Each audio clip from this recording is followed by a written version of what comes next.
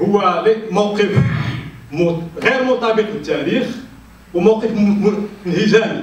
يسار اللي هو يدافع على قيم المساواة والعدالة الاجتماعية والتضامن والتقدم الاجتماعي بلا ما نوضعوا قضية المساواة بين الجنسين في صلب المشروع ديال اليسار.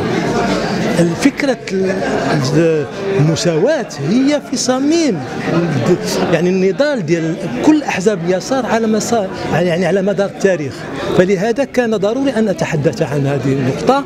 والحال أنه مع الأسف داخل أحزابنا في اليسار لا نعطي دائما أهمية لهذه القضية. رغم أننا نضعها ربما في الأجندات ديالنا ولكن في مستوى التفعيل. مثلا تواجد قيادات نسائية داخل أحزاب اليسار تبقى ضعيفة. على المستوى المحلي تبقى ضعيفة؟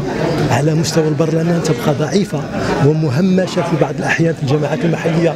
فهذه ظاهرة أساسية. ثم هناك خطر تراجع عن التراكمات التي حققناها.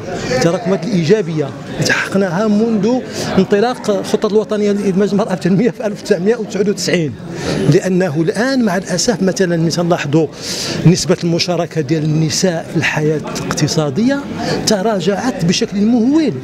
من 28% في 2014 إلى 19 إلى 20% الآن. وهذا حقيقة محزن ومخزي لأنه هذه طاقات آه، لا آه، لا لا تستغلها لا يستغلها الاقتصاد. بمعنى أنه طاقات يمكن أن تنتج ولا يمكن أن نعتبر ديمقراطية حقيقية ونصف المجتمع مشلول.